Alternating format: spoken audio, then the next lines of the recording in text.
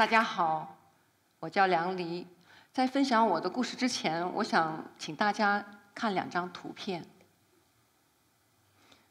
和你们一样，我第一次看到这个图片的时候，我也不知道他在说什么，我不知道是什么东西，很懵。后来呢，我才知道他叫当代艺术首饰。他叫薇薇安，是瑞典著名的首饰艺术家。呃，他和毕加索是同时代的人，他们也一起呢做过展览。两千零三年的时候，我就移居到了瑞典。嗯，后来考入了呃瑞典哥德堡大学的设计学院首饰专业。啊，照片上那个建筑就是我的母校哥德堡大学设计学院的教学大楼。这个是它现在的样子，我特别喜欢这个建筑。然后我在里面呢学习了七年的时间。瑞典的首饰金属工艺呢传承和发展的非常好，呃，到现在呢已经形成了一个完整的体系。它首饰金属工艺呢其实历史是很长，呃，里面有很多各种各样的工艺，包括锻造工艺、铸造工艺、珐琅工艺，还有镶嵌工艺。这是锻造工艺使用的工具，里面也有榔头，有不同尺寸的榔头，还有一些啊，就是小的模具。那我今天呢，也带了一件我自己做的，就是锻造。我在学习锻造的时候做的一个勺子，这个是银勺子。金属呢，嗯，特别有趣，它特别有挑战性的一种材料。在锻造的过程中呢，其实你在跟它对话，嗯，你要嗯很温柔的对待它，不然的话，它就不听你的话。呃，所以呢，嗯，锻造这个工艺呢特别有趣。这个呢也是薇薇安的一件作品，啊，我也是很喜欢。啊，它就是通过锻造工艺做出来的。铸造工艺，嗯，中国的青铜器呢就是铸造工艺做出来的。现代的商业首饰呢也绝大部分的是使用的铸造工艺。它呢先把蜡就是雕出来你想要的那个造型，然后通过一系列的工艺流程把它转成金属。珐琅工艺，珐琅工艺其实最早呢是出现在俄罗斯，就是俄罗斯做的那种彩蛋。然后呢后来呢呃清朝的时候传入了中国，落地之后呢叫景泰蓝，再就传入到日本之后呢它叫七宝烧。珐琅工艺呢，其实就是运用珐琅的釉彩，在金属的表面呢做出非常多漂亮的颜色。那么这三件胸针是日本的一位当代首饰艺术家做的，它呢就突破了传统的这种珐琅工艺的一个局限，然后呢让这个金属的表面呈现出现代绘画的那种色彩。镶嵌工艺大家应该很熟悉，它主要是把钻石啊或者是宝石镶嵌在金属上的一种方法。我进入哥德堡大学首饰专业之后呢，呃，首饰工作室给我们每一个学生呢都有一个专属的一个工作台。在学校学习的大部分时间，我都是在这个工作台前度过的。这个项链呢是我在学习金属工艺的时候做的，嗯，它是用九二五银做的。因为呢，我们学习金属工艺都是通过你自己去制作首饰，然后呢，逐渐的训练和掌握这些所有的工艺。当时我做这件手呃项链的时候呢，就用到一种叫焊接工艺的，它呢是高温在高温的情况下，金属融合在一起。我记得那个因为高温那个焊枪呢，呃。把我的眼睛呢熏的，就是通通红，因为五百次有五百次的焊接，就是这个项链做完呢是有五百次的焊接。后来我看到这件作品，我就觉得特别震撼。为什么呢？因为它用的是电话号码本的那种废废的书，然后呢用一种纸雕的工艺把它做成了一个项链，也是我特别喜欢的那种类型的。后来我就觉得哦，原来你可以用不同的材料，不只是金属，你可以用不同的材料来去做你想要的东西。这是我的同学做的，他把那种卡纸剪成细小的碎片，然后呢，再一点一点点把它粘合在一起。这个一看呢，我就会想起在瑞典那个岩石，就是海边啊，岩石上那些生长出来一些小贝壳或者是苔藓。这个你们绝对不想不到它是什么材料。它上面的那个鱼鳞的鳞片是用图钉做的，就是它把图钉呢钉到一个那个。皮子上面，这个皮子有弹性，它可以旋转起来。然后呢，它可以戴在佩戴在那个你的手腕上，是一个手镯。现在大家都知道，3D 打印技术呢越来越好，然后很多首饰艺术家呢就用 3D 打印这个技术呢来做一些当代艺术呃首饰。这个就是 3D 打印做的，这个材料大家都一看很眼熟，就是那个贝壳嘛。然后呢，这个艺术家呢，他就是用这种贝壳，然后在上面开出一个嘴巴，就是那种脸谱化的那种呃概念。然后你们有没有觉得它很像小黄人的表情？这件首饰。你们也猜不出来是什么材料做的。我之前问一席的策划，他们说他们也猜不出来。这是用美金做的。他呢，就是把一摞的美金，然后呢用激光切割，把他想要的那一部分留下来，然后呢用金属把它镶嵌起来。你看这边呢是项链，那边呢就是一个胸针。后来这个艺术家那个。工作台上面呢，就到处散满了这个美金的碎片。但是他很聪明，他没有用一百美金，他用的是一美金。我们都会把自己的相片啊，或者是呃自己的画、小画会镶在镜框里面。但是这件首饰呢，是一个胸针。呃，他的那个艺术家叫做是美国的艺术家，叫美兰妮。他呢就很喜欢嗯用素描的方法，把自己日常的一些动态呢。把它描绘出来，然后把它缩小放在胸针的里面。但是最最有意思的是，他这些绘画素描都是用他自己的头发一点点拼出来的。所以呢，我每次看到这件作品的时候，都感觉感受到那种女性的那种很细腻的情感在里面。那我们看了这么多作品，我想说说什么是当代首饰。当代艺术首饰和我们传统的首饰呢，最大的区别就在于它在材料上是特别自由的，它不会刻意去选择一些贵重的金属啊，或者是贵重的宝石，什么材料都可以被用来做作品。那么另外呢，他还强调观念的表达，也就是说，我们希望作品里面呢，能够表达你想说的东西，就是你的想法呀，或者你的情感。传统的首饰呢，它是一种经典的美。但是当代艺术首饰呢，它给我们更多的可能性。当代艺术首饰是一个非常年轻的呃一个学科和艺术门类。那么它的诞生呢，和当代艺术有着密切的关系。上个世纪的六十年代，啊，第二次世界大战之后呢，战败的德国人开始反思自己。我们这么有理性的民族啊，出了世界上这么优秀的这么多优秀的哲学家，为什么我们会做出这么非理性的事情呢？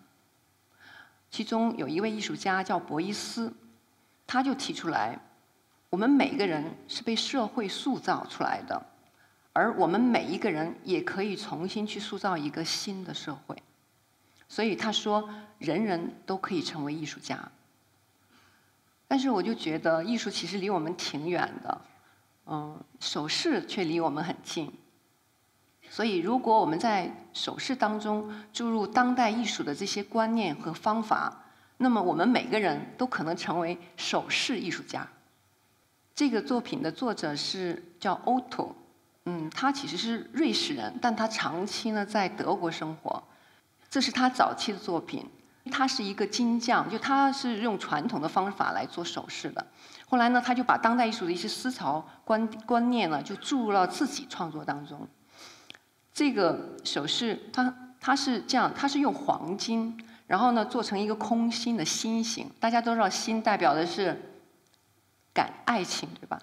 然后呢，你要但是你要去购买它的时候，你可以切开。你想要多长，你就切多长，然后他去称重，然后是多少钱。那么他这个作品叫做一厘米的爱情，也就是说，我爱你有多深，我就切多长。所以呢，可以把感情物化了，感情有尺寸。还有一位艺术家，他的作品呢，他做了一个金属的胸针。可惜这个照片我没有找到。他在胸针上写了一句话：“我的钻石比你的大。”呃，这些呢，其实都是我们购买首饰时候会出现的一些现象哦。他们就是对这些现象提出了自己的一个讽刺。丹麦艺术家 King Book，嗯，他也是我的好朋友。他其实也是呃一位非常呃优秀的教授。他对感情的理解是这样的：他说，如果我爱你啊，我就应该时时刻刻的陪伴着你。所以他把那个心坐在戒指的里侧，然后你每次你戴上它的时候呢，这颗心呢就不断的去摩擦你的手指的皮肤。当然了，他又用一公斤的铁做了另外一颗心。然后他说，爱情有时候也是很沉重的。很多的学生呢都特别的喜欢他的作品，尤其是我们很多中国的学生也很喜欢他。Rudy Peter，荷兰的艺术家，他是当代首饰领域里面的一个老顽童，因为他特别喜欢一些乱神怪力。你比如说，他会研究连体婴儿，然后呢又跑到印度去研究什么炼金术，然后到中国来呢，他就说我要去练气功，还有针灸。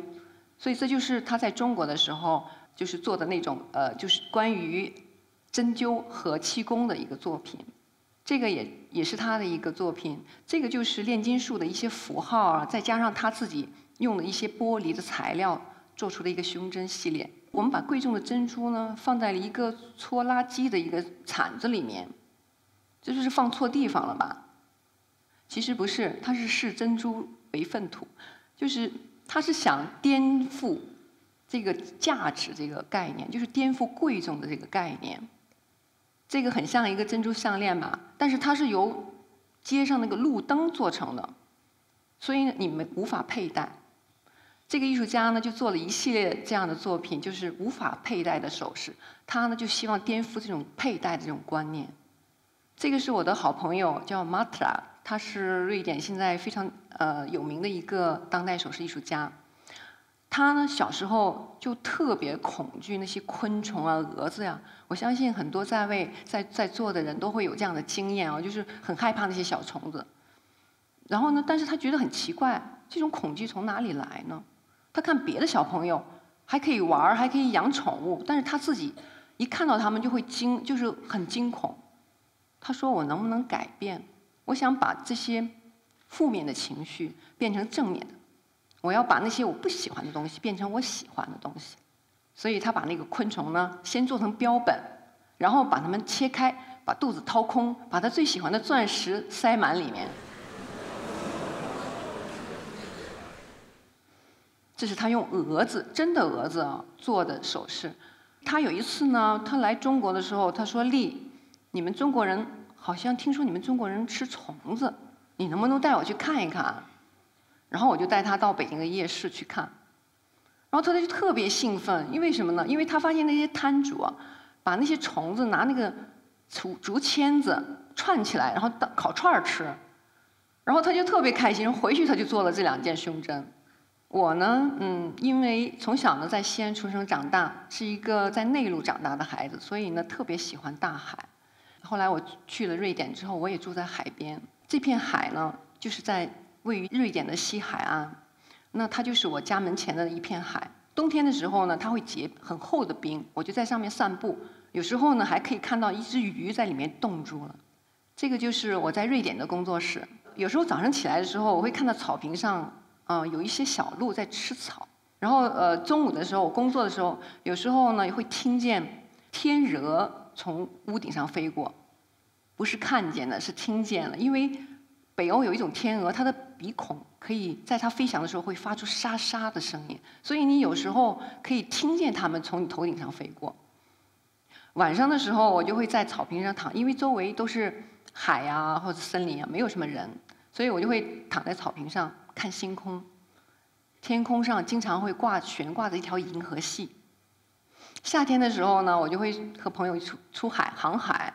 就是那种无动力的那种帆船，在海上漂泊一个多月，这就是那条帆船。帆船里面呢，其实像一个微型小公寓，你可以住在里面，也可以做饭。然后晚上睡觉之前呢，我就跳到海海里面去洗个海澡。呃，斯堪的纳维亚半岛呢，是十万年前呢，其实是被冰川覆盖着的。然后冰块冰川呢，慢慢的退却的时候呢，就把那个陆地岩石打磨得非常光滑。这些岩石在阳光的照耀下呢，就有非常多丰富的颜色。你看它们，远远的看着它们呢，它们其实很冰冷又很坚硬。但是你靠近它，你抚摸它的时候，它是温暖的。是坚定的。后来我就尝试，嗯，把这种感觉做放在我的作品里面。我想试一下别的材料。那么陶瓷这种材料自然而然的就进入了我的视野，因为它来自中国嘛，我对它有亲和亲和感。